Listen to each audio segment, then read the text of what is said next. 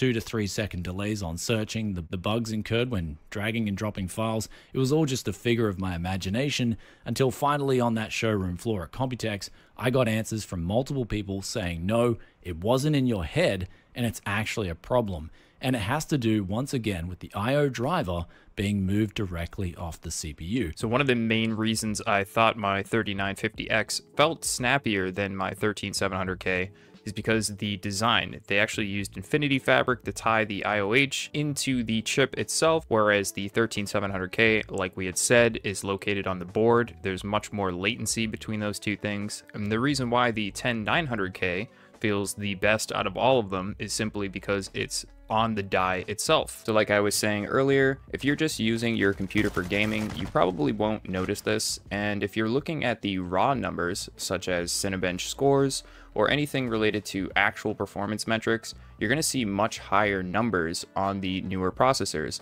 During the recording of this video, Tech Yes City actually launched a second video going way more in depth, explaining exactly what's going on. Here's an example of Latency Mon, which is a benchmark tool to tell you how latency works on your computer. And uh, as you can see here, the 13900K is quite a bit slower than the 10850K, and again, you can see right here, he's just doing some basic transferring of music files, and you can see that the 10850K is just walking all over the 13900K. Again, I will leave his video linked down below. Please check out his video. It is way more in depth, and he just does a way better job at explaining everything that you need to know. So according to all the new information we have about 14th gen, it's pretty much just going to be a refresh of 12th and 13th gen, which isn't bad, but if they don't fix these